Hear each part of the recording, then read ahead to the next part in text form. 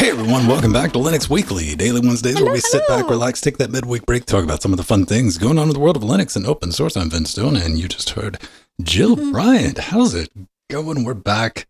Yeah. Exciting things to talk about this week.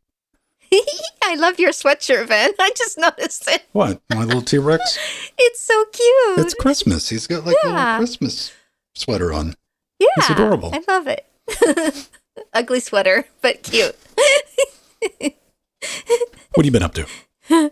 Oh boy. So I actually stayed up all night Monday to Tuesday morning watching the talks at Ubuntu Summit in Prague in Czechoslovakia. And our very own Strider, creator of Lutris, he did an awesome talk called Linux as a Video Game Preservation Platform. Strider, I was did- watching you in Discord on your way to Prague. I was Yes. like, okay, where are you going to mess this up? Where are you going to mess this up? I was rooting for you, though. I was rooting for you, by the way. And you made it. He made it.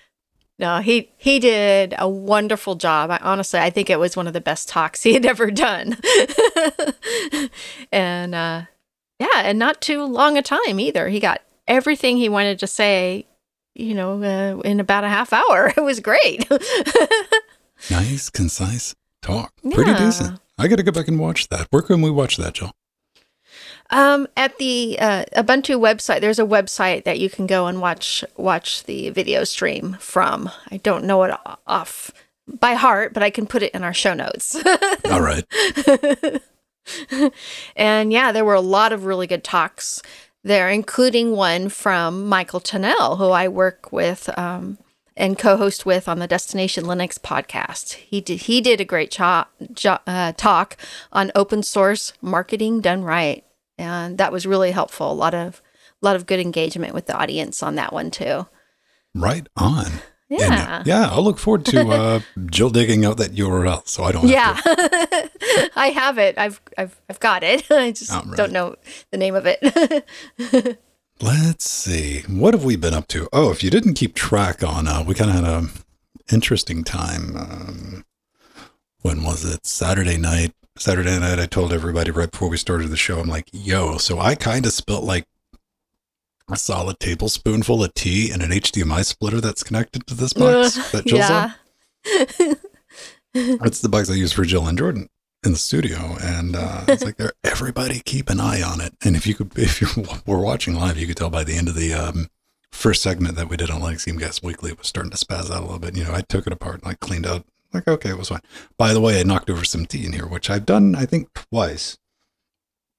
I don't put anything in the tea, unfortunately. I'm like on the glass desk. It all It mostly just like held right at the edge Yeah. with just tension. Like, okay, that's good. But apparently, someone dripped into the HDMI splitter, which is on like I got a wall of HDMI stuff. There's like 13 cables back there.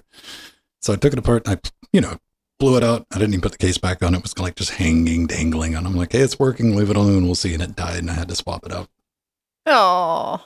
Yeah, and with glass, you know, the water just kind of ripples and it goes. well, it had dripped down into it over the edge, and Okay. it was like, man, and that was bugging me. So it was the uh, first thing I did Sunday morning when I got up. I'm like, I don't want to buy another H. And these are cheap HDMI splitters too. These are like the little fourteen dollar ones that have been on twenty four seven for like six years. Like there's, they've done their job.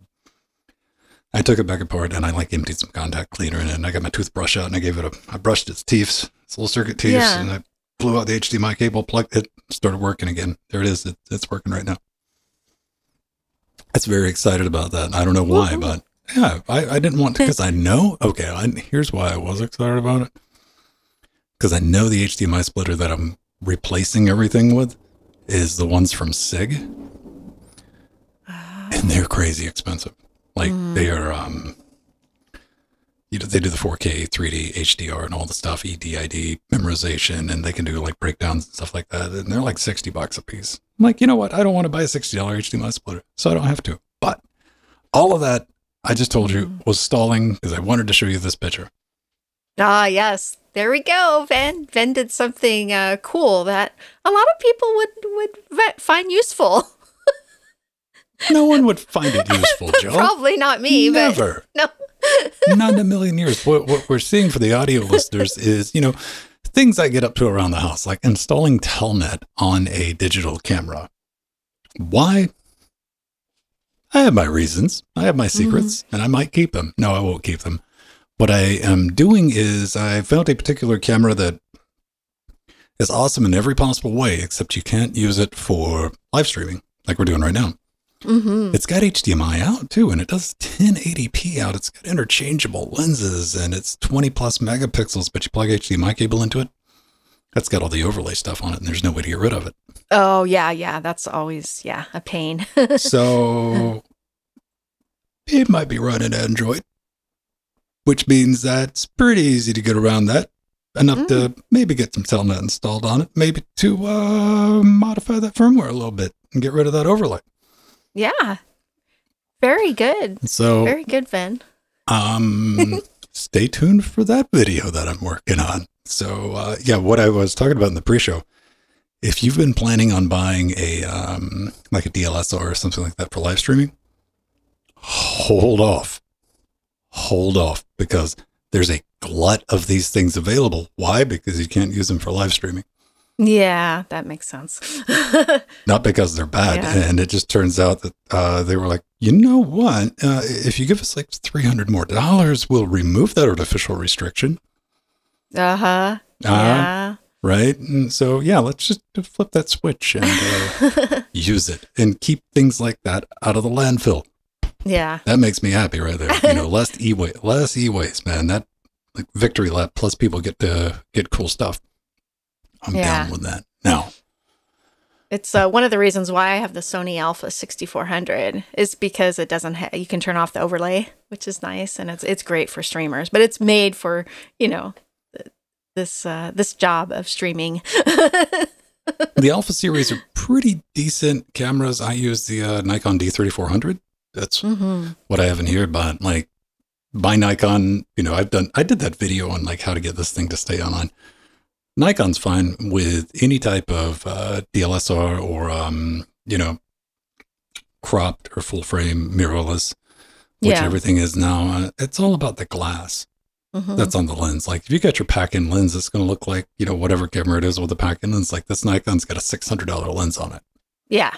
hmm you know, it's a $200 camera, but I had a bunch of uh, glass sitting around from my, you know, From remember previous. the early, yeah, my old Nikon D80, hmm and I bought a bunch of glass for that. And I'm like, ooh, you know what? I have a prime lens. Click that on. There it you in. go. Low stop. Works great. But stay tuned for that. Bunch of fun things in the pipeline. Now, Oh. also come play Trackmania with us. We're doing Oh, that, yes, yes, uh, yes. This Friday, I updated two maps. We had our Trackmania thing last night, which we dumped 14 new maps. We get together, we go around them, we vote on them. And it's a good way to be able to see, hey, who can't make it around, or like a lot of people are not going to have fun with this one. That's how we experiment. And then I swap those It's a lot back out. fun. Server stays up 24 7.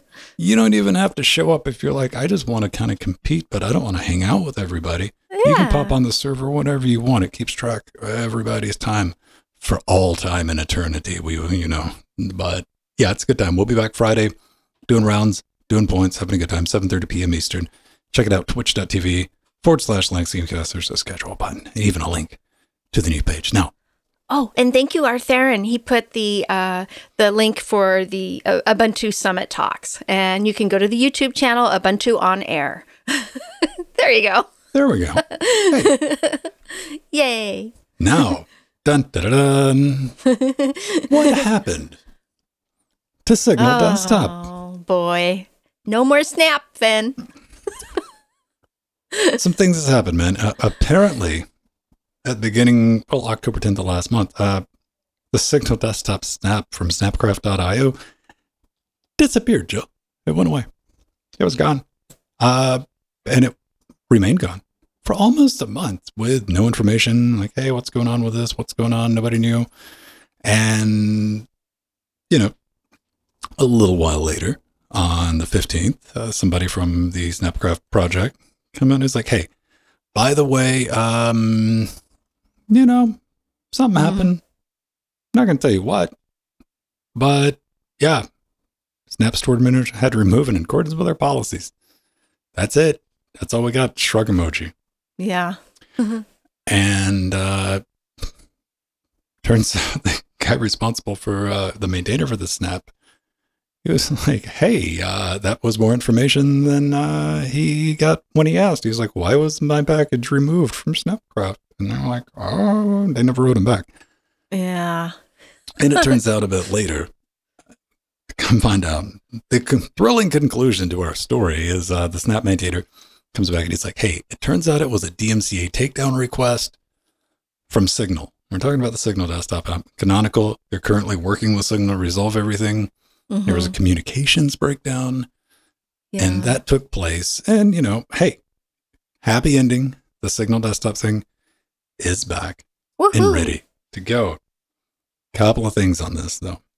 And even the maintainer of the project said, I didn't change anything in the package either. It's not like they came back and asked, hey, you need to fix this, this, and this, and this. What happened is where I found this. This made it to Hacker News.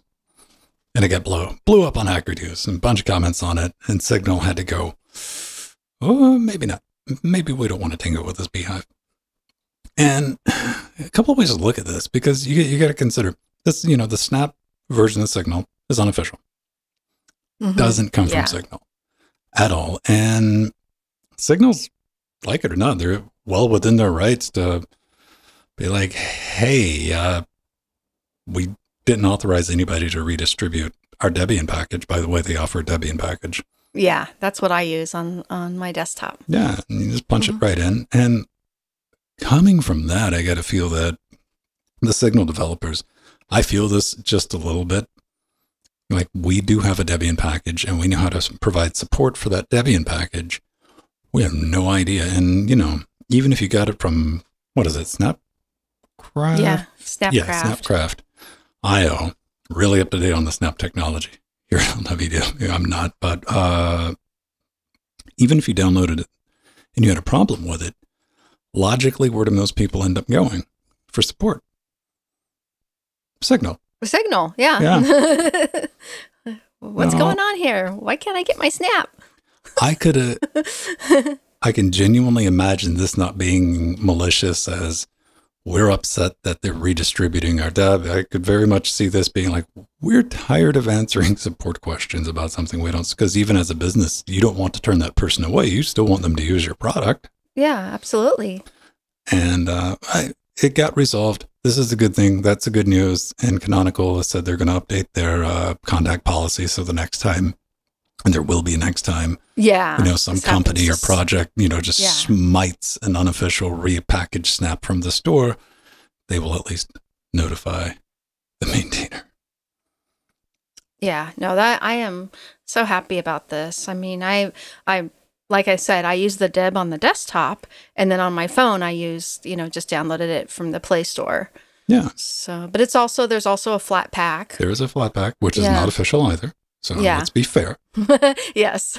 But the Deb I knew was official, so that that's the one I They have the um yeah, I went and checked Signal. I don't use Signal personally, but I did a little bit of research into this when I was following as the story was unfolding this week. I'm like, Yeah. what happened? Because when I first started putting this in the notes, we had no idea what was going on. It's like poof, it Mhm. just disappeared. like, oh, something's up. And uh, you know, I'm like, ooh, gossip, tech gossip. Let's get on this. and um yeah, it's kind of benign and you know, it exposed like two things you got to keep in mind. Um and you know, I see this even when I'm helping somebody with like working with OBS. You know, because I get tons of questions from that. How do I do X, Y, Z? And we're not talking like, oh, I can't make X thing work. And it's like, how do I route audio from this using Jack to, you know, stuff like that. Yeah. I get those questions and um, I always ask, I'm like, are you using Flatpak version?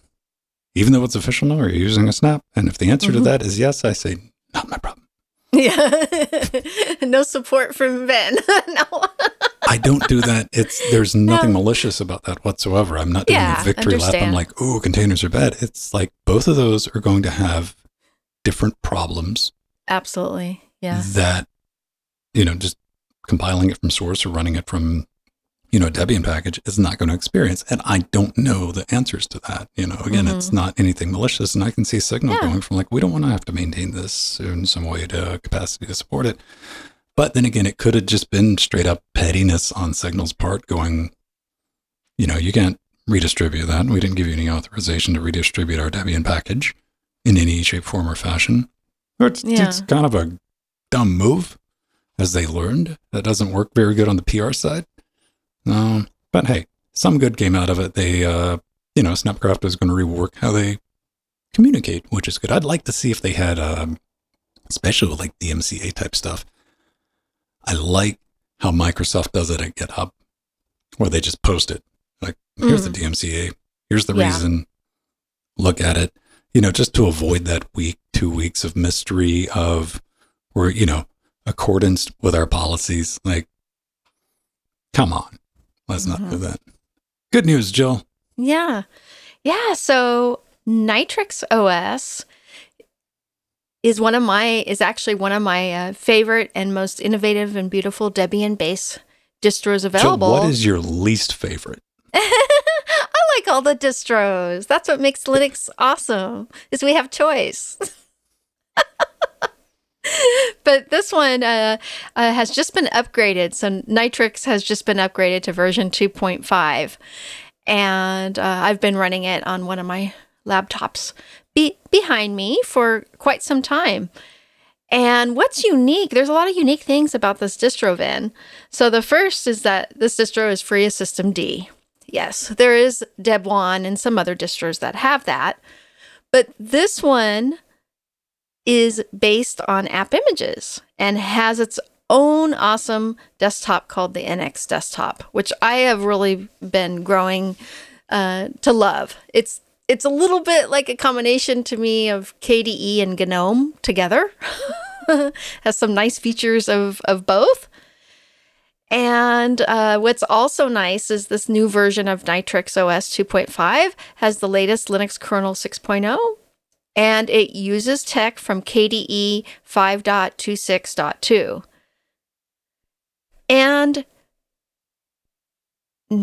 their NX desktop is an overlay on KDE Plasma using the Maui Kit framework and apps. So, another thing that makes this distro unique, and one of the reasons why I've been enjoying using it, because it's unique and different and very innovative. And it, includes a whole library of its own apps, you know, built using the Maui framework, and uh, which actually includes one of my favorite file managers, the Maui Index file manager, which is really nice for bookmarking folders and files and organizing um, all your files. I really enjoy that uh, file manager.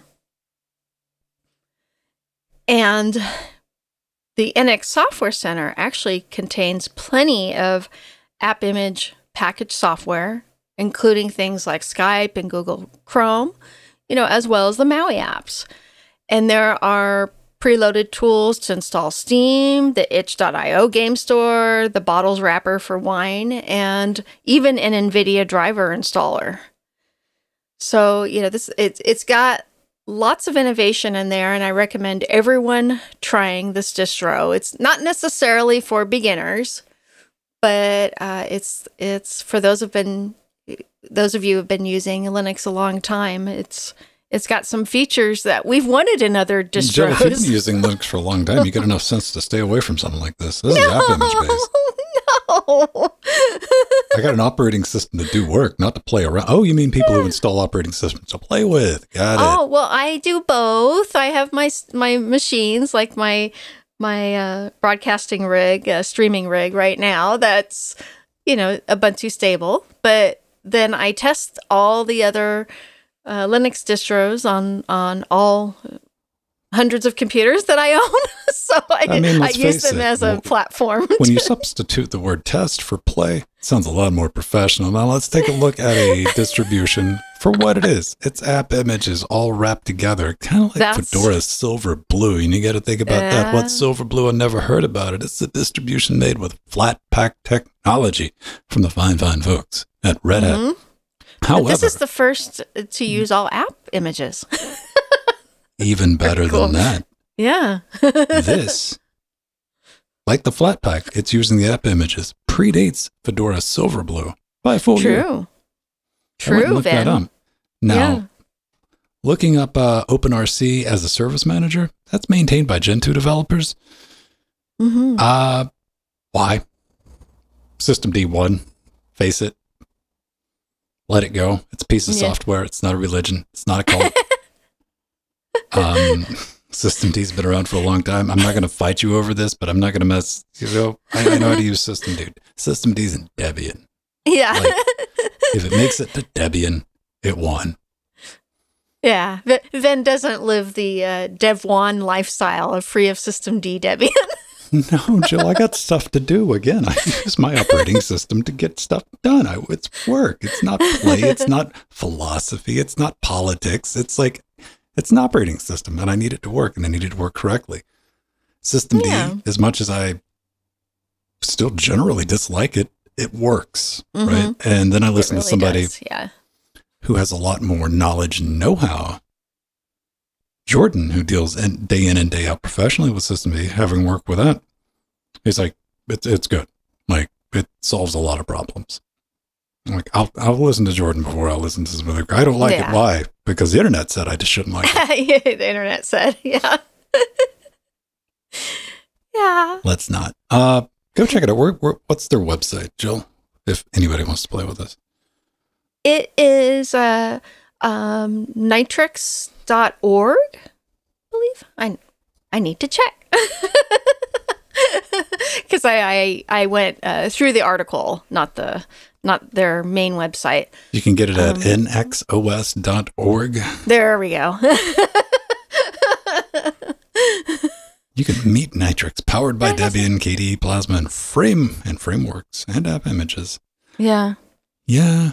Uh, I mean, it, it falls into the curiosity thing. Like, this is something to play around with. Same thing with like Silverblue. hmm Absolutely something to play around with, but um, there's a well above my uh, recommended daily amount of chaos would be introduced. Maybe this is like swimming. I was like, that's a lot of weird moving parts. It's really cool that somebody's trying to do it. Not for me, though. Yeah. Why? Because I'm old and I'm boring. That's why. Well, another reason I like this distro so much is that they made their own, you know, desktop manager, and it's it's really nice. Again, it it, I mean, it it's does. KDE. Yeah, it's KDE, but it has some gnomish elements to it, so it's a nice kind of in between. And yeah, it, uh, as Ben was saying, it's nxos.org. Woohoo! There it be is. bold, be different. Powered by Debian, KDE, Plasma, and frameworks. Yeah. So, I mean, it's KDE, which unfortunately is an XFCE. And we all yeah, which is know Ben's favorite. It's not even my opinion. It's just simple fact. is the best desktop manager in the history of ever. Nothing This is as good as XFCE. I mean, yes, don't believe the rhetoric, don't believe the lies. It is the one true desktop for uh, the unifying desktop for everyone under Linux, no matter what. Well, I don't know. I don't know. I don't know. Um, maybe if you're a huge fan of KDE, you won't like it.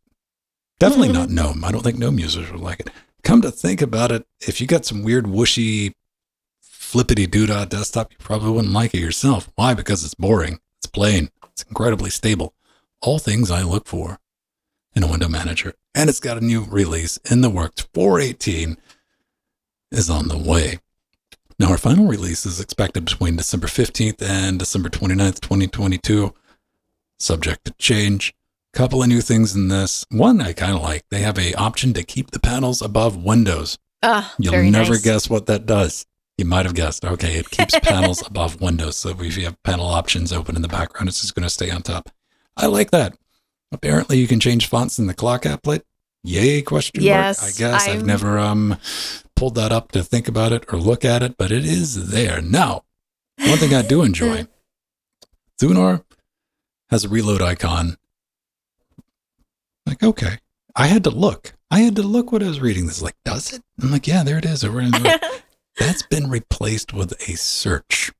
Yeah. A new recents item has been added to Thunar in the places, so it'll take you back, give you a list of all the places that you've been on your travels. They do point out Wayland migration is in the works. It's only 10 years away, so don't worry about it too much. I mean, eventually. And like most XFCE updates, I'm so happy to report that you probably wouldn't even notice it if you've been upgraded from 416 to 418. And that's what I love about this project. Why? Mm-hmm. XFCE doesn't change things for the sake of change. Yeah. it, it makes improvements that all us users like and need, but it's it's not glaring in your face. Not a ma- no no major desktop changes. no, Jill, we need to completely rethink X, Y, Z. Yeah. and change the way it's done. Why? Because that's what happens when you leave a bunch of software developers around and designers and say, hey, develop and design, you get things like that. XFCE just works. And XFCE yeah. has stuck to, you know, its its roots. You know, it was basically uh CDE with a glittery body kit, and it's grown yeah, a lot true. from there. But it I always say this, I mean, you, you can rewind like 20 years ago and give me like the first version of XFCE I laid my hands on, you could take that version and dump him right in 2022 and be like, yeah, I got this. Same thing. Done. Try that one, GNOME. Yeah. Try that with KDE. with GNOME, usually you need some extensions. and with KDE, you need to dig deep to find all those settings. but think about it. Think about it. Like, um, yeah. let's say like KDE 1.3. You take that version of Jill playing with KDE 1.3. Like, dump that, you know, Jill 2022 with the KDE Plasma and like have at perfectly, you know, you, you'll be able to figure this out, right? Oh, yeah. Oh, yeah. I, I actually do uh, use KDE Plasma now and again. And, um, but what I was really happy with with this latest release is, um, you know, one of my updates actually solves a simple but annoying problem. so you can now change the font style and size in the XFCE clock applet, which Ben just said earlier. But to me, that was a major deal because often I can't read the clock applet because the font is too small because I'm half blind. So, so especially on my 4K monitor. In fact, I'm, I'm in an XFCE right now and I can't read that clock applet. It's just too tiny. So that makes me happy. And um, there are now uh, four clock layouts uh, date only, time only, date and time, and time and date. And yes, so there has been so many, the, some of the biggest changes have been in the, the Thunar file manager. Thunar now has a new book, bookmark menu in the sidebar and has a new split view option for easily dragging and dropping for those of us who like to use other file managers like MLFM and PCManFM. Now we have uh, the the power of the trees, which is really nice. And there is a new image preview of image files, which you can change the settings to embedded or standalone preview. So finally, that that that's something we we have in most of our modern modern file managers that we have now with Thunar. And it is, you know, just nice to see Thunar getting so much love and getting these much needed updates that put it in uh, the conformance and with the features of other modern file managers. It's so, a file manager. It needs to manage files. Yeah, but the, these, I, these... I know this is like the here's here comes the problem. But but here, here's some other things we can glue on it and to the side, and we'll get nice, big, and bloated like the other file managers. Aw, no, but but they do it a good job of adding features, but keeping the bloat minimal. so that it still runs on, on a little amount of RAM. oh man. we got to get Jill in marketing Thunar slightly less bloated. it's it's Rodentia OS after all. Oh, the little mouse OS. Always been a fan of XFCE, and you know, again, not it's not for everybody though.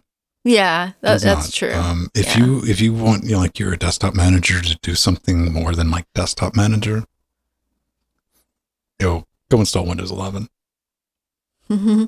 I don't know. Yeah, XFCE is a really nice in between, between kind of like uh, the After Step and GNOME or KDE. It's a nice in between. Well, I there. like After Step. The problem is mm-hmm. After Step is After Step or Enlightenment in the same camp. Both of those, Enlightenment more so. I really want yeah. to like Enlightenment, but um, Enlightenment is about as stable as a rabid emu on a methamphetamine binge. Mm-hmm. yeah. Yes, man. Yeah, the sound system does occasionally crash, doesn't it? oh, all of it occasionally crashes. Like I, I go and I play around with Enlightenment at least twice a year, just because Yeah. you know I I like I dig the aesthetic, man. I'm a '90s kid. I'm just like, man, I like that look. It it, it looks like our desktops used to look in like 2000, 2001, just out of the box, and I'm digging it.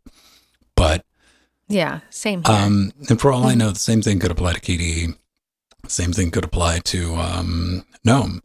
XFCE doesn't crash. Like you could say Yeah, maybe it's- because it's like less complex of a project. That's fine. However, it doesn't crash. Like the idea of like my window manager and my desktop, anything going wrong there is such a foreign idea. I will take a screenshot of it of like, look at this. yeah. yeah. It's What? I It's mean, it's like up. getting a Steam survey. It's such a rare thing, and I just hope they keep on doing the. I do hope that they uh, face the uh, Mr. Anderson of Wayland because it's not going away now. Like it, Mhm. it's it's a real thing, and I want them. Uh, yeah. you, you know, they they're uh, it's it's gotten further than um, like yes, we acknowledge Wayland exists. Thank you for attending our TED talk. Uh, it's gotten further along in that. I mean, work is starting to be done on it yes. because when I eventually have to switch everything over to Wayland, when X is you know left to people with a oh yeah, you know, we're going to be seeing the kids running X Windows on their vintage gaming PCs. You're Mhm. like, yeah, that's what you run on your vintage PCs, X X11. Oh yeah. I I still frequently run uh, TWM, Window Maker, Rat Poison. Oh, I'm talking Yeah. about just X itself. Oh, okay. Like this is what we used to use before Wayland came out, and uh, you know, and all the compositors on top of that. X11. I want um, X386. Yeah. Oh yeah, Remember those days? Installing The, those Slackware uh, floppy disks with X free.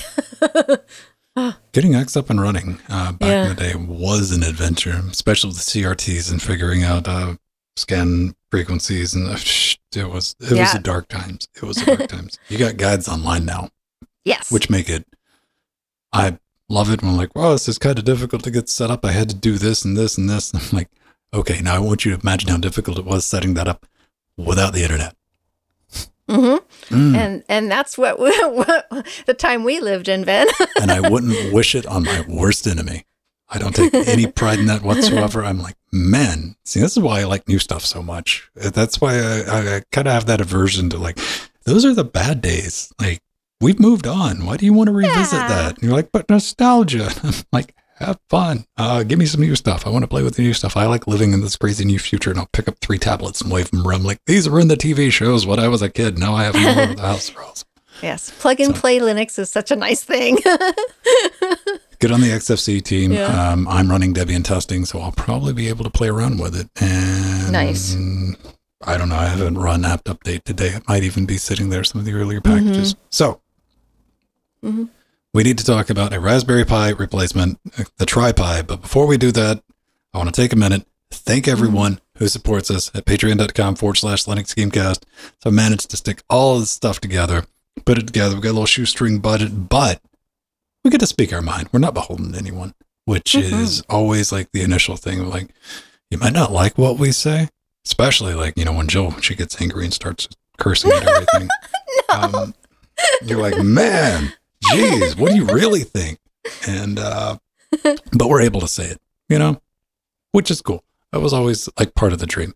We got a couple things, linuxgamecast.com. We got Amazon Wish Zones. We got merch. We got new hoodies. We got Frank Mhm. Files. That's right, Frank.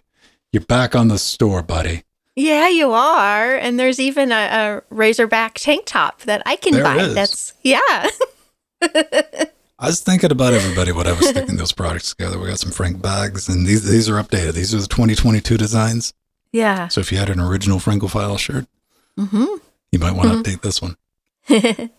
Do we anything else? Uh, come hang out with us. If you do support us on Patreon, you get access to our Discord. If you like this show, we got the super Mhm. long extended version, the live and uncut version in podcast format on your custom RSS feed. You get some sneak picks at projects that I'm working on, access to our Trackmania thing, gangs and gangs of other stuff that I'm like, I've been told on multiple occasions, like, Venn, you need to put more of that stuff behind a paywall. And I'm like, no, I mean, if this was a get rich quick plan, I'm failing at it. So it's not. But we do appreciate your support Mm-hmm. and uh, keeping us loud, live, and independent. Now, can we talk? what do you think about? Uh, we were waxing poetic. I was thinking about, man, I'm I'm a little worried about the future of Raspberry Pi. Now I'll get around to it in just a minute. Jill's going to tell you about something that is exciting, and I'll agree it is exciting, but it kind of makes me think, oh, this could be a problem down the road. Yeah, very true, Venn, and we will we will touch on that in I mean, just nobody a minute. died, Jill. Calm down. yeah, no. So Friendly Elec has just announced the NanoPi R6S. It's a new single board computer that is based on the Rockchip RK3588S SoC. And one of the unique features of this cute little single board computer is that it has three Ethernet ports. Yes, there are three holes. Not four holes or four lights. you hear that, Picard? There are three holes.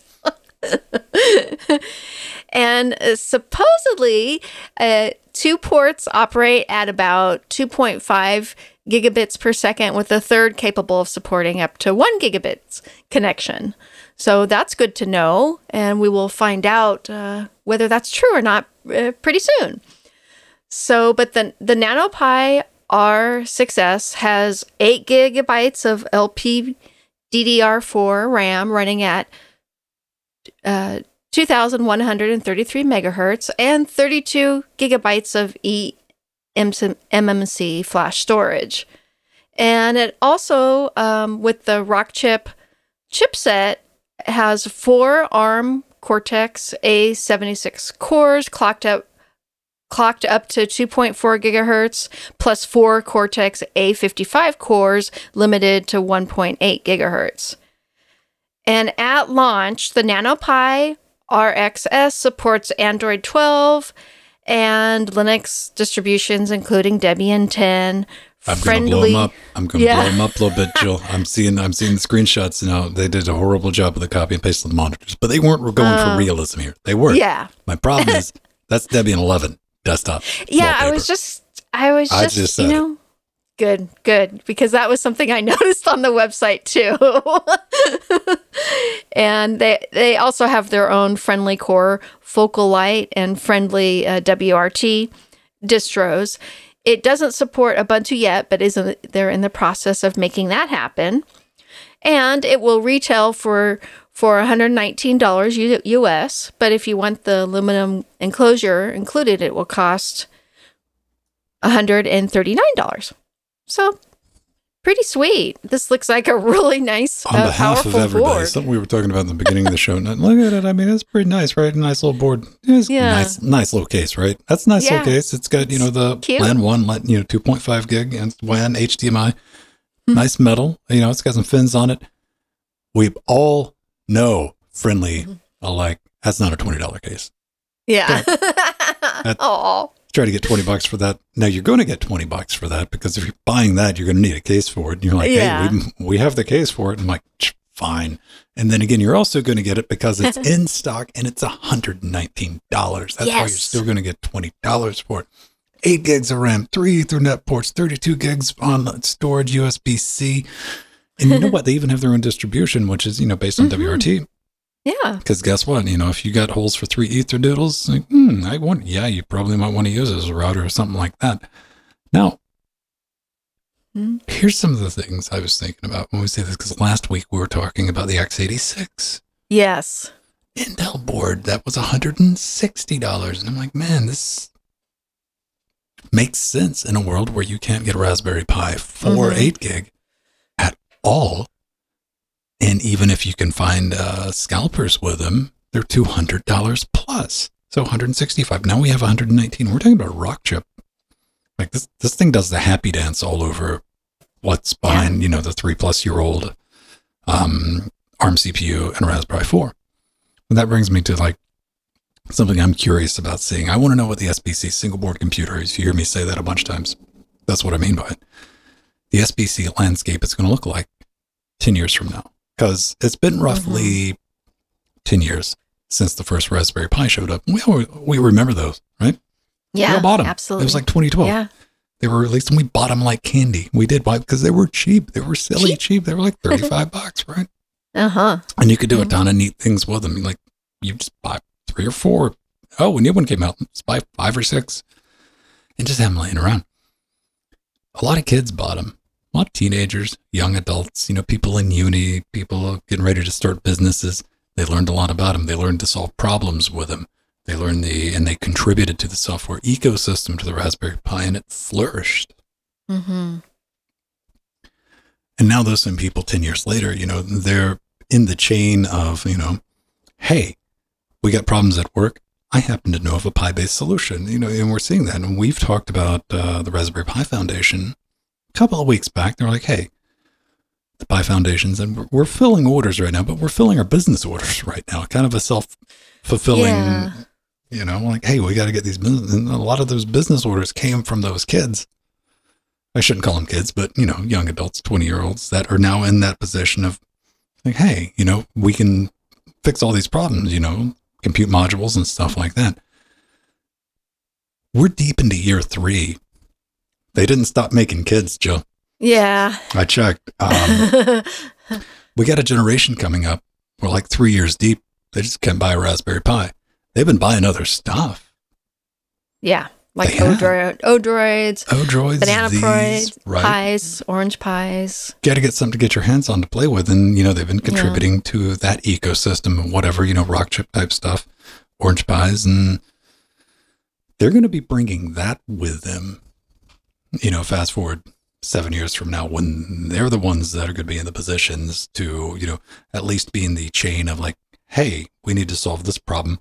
It's not necessarily going to be I have a Pi based solution. It's going to be maybe I have a Nano Pi based solution or an Orange Pi based solution, something based on Rockchip or whatever they've done. And of course, this is good for the ecosystem and it's going to spread things out. That's something I worry about the Raspberry Pi Foundation not thinking down the road. Yeah, yeah. Good good point, Venn. We were talking about this be- before the show and it it is, you know, there's been this 3-year hiatus where it's hard to get Raspberry Pis. So, yeah, the schools are yeah. having to order order um Something. the single board computers from other companies. Yeah, it's it's a problem.